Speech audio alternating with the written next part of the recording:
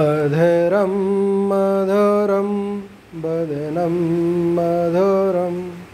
नयनम मधुरम हसितं मधुरं